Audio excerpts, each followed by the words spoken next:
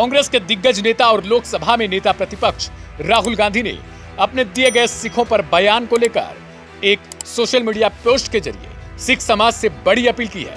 राहुल गांधी ने इसके लिए भारतीय जनता पार्टी को जिम्मेदार ठहराया है। राहुल गांधी की ओर से अमेरिका में सिखों पर दिए गए बयान को लेकर बीजेपी हमलावर दिखी है।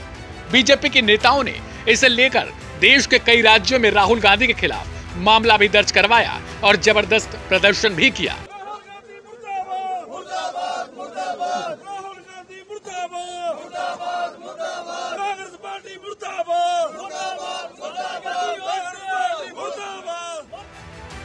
इस बीच कांग्रेस नेता राहुल गांधी ने अमेरिका में दिए गए अपने बयान को लेकर एक video social media platform X पर पोस्ट करते हुए अपनी ओर से सफ़ाई दी है। लोकसभा में नेता प्रतिपक्ष राहुल गांधी ने एक्स पर लिखा है कि भारतीय जनता पार्टी अमेरिका में मेरे बयान के बारे में झूठ फैला रही है। मैं भारत और विदेश में रहने वाले हर सिख भाई बहन से पूछना चाहता हूँ, क्या मैंने जो कहा है उसमें कुछ गलत है? क्या भारत ऐसा देश नहीं होना चाहिए? जहाँ पर सिख और हर भारतीय बिना किसी डर के अपने धर्म का पालन कर सके। अपने बयान में पोस्ट को आगे लिखते हुए राहुल गांधी ने पूछा कि बीजेपी हमेशा की तरह झूठ का ही सहारा ले रही है। वे मुझे चुप कराने के लिए बेताब हैं, क्योंकि वे सच बर्दाश्त तो नहीं कर सकते। लेकिन मैं हमेशा उन मूल्यों के लिए बोलूँगा जो भारत को परिभाषित करते हैं।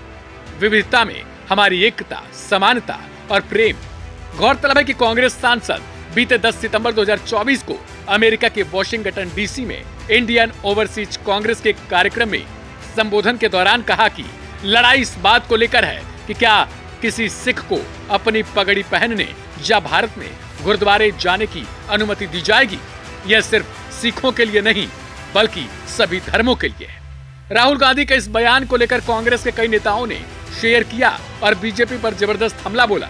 कांग्रेस प्रवक्ता सुप्रिया श्रीनेत ने भी इस पोस्ट को शेयर करते हुए बीजेपी पर करारा हमला बोला है। आपको बता दें कि राहुल गांधी के अमेरिका के इसी बयान को लेकर बीजेपी लगातार प्रोटेस्ट कर रही थी और बीजेपी के कई सांसदों की तरफ़ से इस पर बयान भी दिया गया।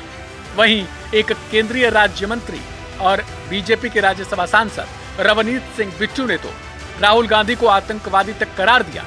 उन्होंने इसके लिए कड़ी कार्रवाई की मांग की थी। हालाँकि इस बयान को लेकर कांग्रेस खासा नाराज़ दिखाई दी।